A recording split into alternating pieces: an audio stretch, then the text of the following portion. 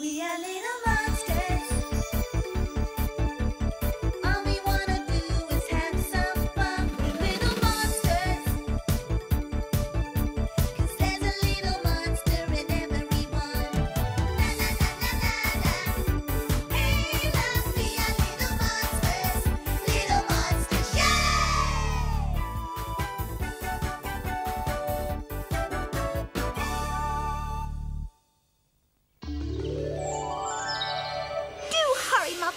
School bus is waiting for me. I'll be late. Sorry, dear. Here's your satchel. I've packed your lunch. I won't eat it. Good morning, Mr. Franks. Good afternoon, Mr. Franks. Good morning, children. You may sit. I did ask you to sit, Constance. Shan't, can't, won't. Oh, very well, Constance. But your legs are going to get very tired standing all day. They won't, because I'm going to sit down. Right.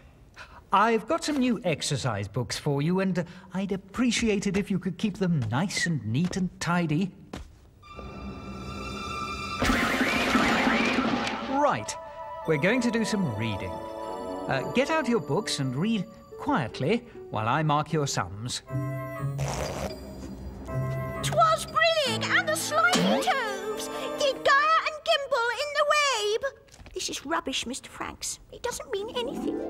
I know, Constance. It's not supposed to. It's what we call a nonsense verse. Makes perfect sense to me. Hurry up, Constance. I want my tea. Shan't, can't, won't. You're a bit late back this afternoon, dear. I know. Someone kept the bus waiting. There you are, Constance. Your favourite. It isn't. Well, just make sure you eat it all up. Shan't, can't, won't. All right, dear. Well, if you're not hungry, maybe you could get on with your homework. Not doing it. Well, go and tidy your room then. I tidied it last year. It's your turn. I'd like you to tidy it, dear. Your Uncle Arthur is coming to stay, and I've got rather a lot to do. Hello there. Arthur!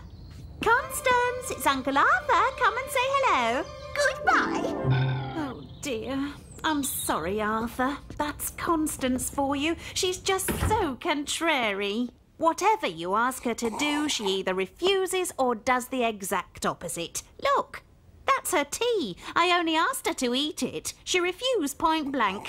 I. Constance, turn that television down. I don't know what's so funny, Arthur. I'm at my wits' end. I think I've got an idea. Surbiton Girls Brass Ensemble. Hey, And later on, I like this programme. Turn it up a bit, Constance. Into the studio. Your mum says you haven't eaten your tea yet. Don't want it. It's horrible. Well, quite right, too. Who wants silly old food, eh? if I were you, I wouldn't touch that tea with a barge pole. And another thing, Constance, whatever you do, don't do your own work. Shall if I want. After all, it's such rubbish they teach you at school, isn't it? Tisn't. It's really good. Oh, I like your room, Constance. Lovely and untidy. I hope you'll keep it like this. I won't. There. See? Arthur, you're brilliant. And I think I've got the hang of it now.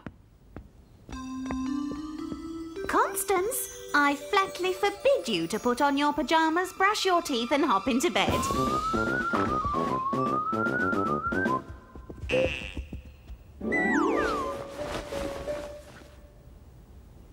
Night night, Constance. Straight off to sleep now, dear. Shan't. Can't.